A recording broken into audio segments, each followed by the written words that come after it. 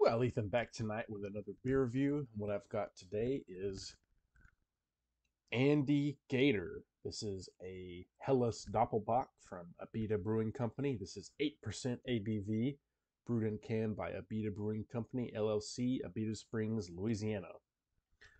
Uh, 8%, like I said, this is a 19.2 ounce can, one pint, 3.2 ounces. I've never had a beer from Louisiana before. Um, this was given to me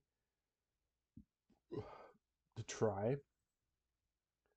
I've heard of Abita Brewing Company. I've heard of um, Ronald Theriault, Louisiana Beer Reviews. I've heard I've heard him talk about Abita beers, Abita Brewing Company.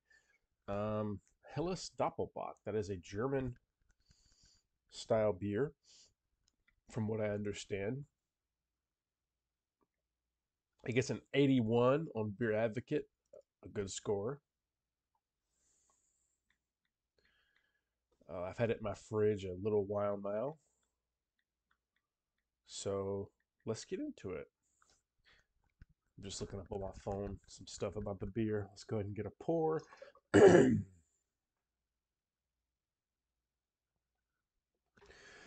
right, so large foamy white head, four finger head, ascending bubbles. The appearance is light golden.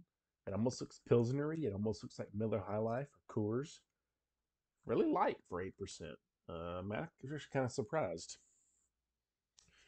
Uh, uh, Doppel meaning double. This style is a bigger and stronger version of the lower gravity German style Bock beers. So it's basically just a double Bock, a Doppelbock. So yeah, that's what it translates to. So I'm getting a malty sweetness on the aroma. I'm getting a slight caramel.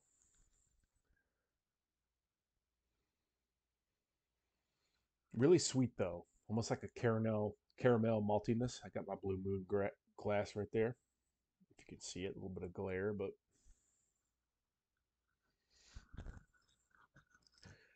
It says, release the beast.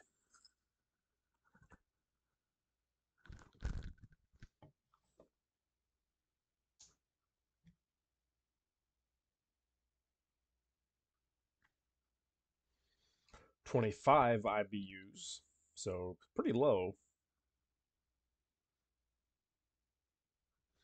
Let's go ahead and try this one.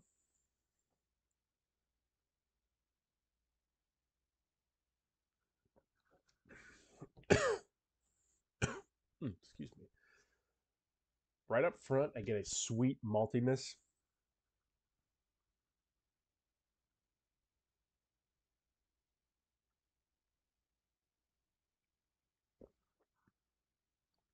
No real bitterness to speak of.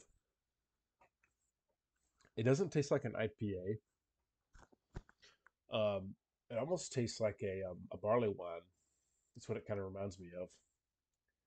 Um, Really good beer though. Really smooth, but really rich.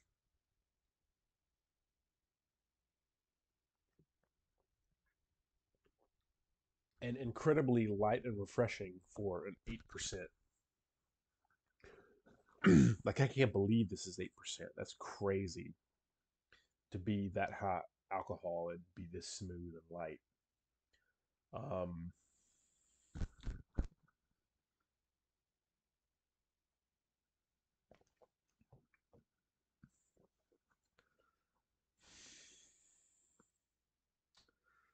Um,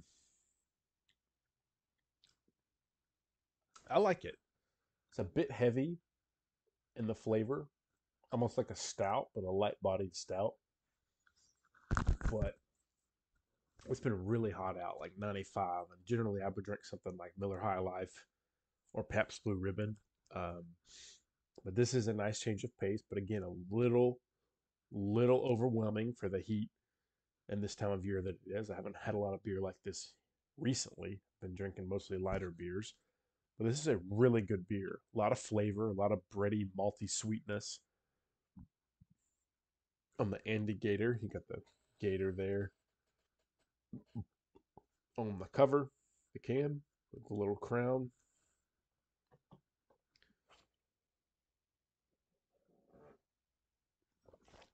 Mm. Mm-mm-mm.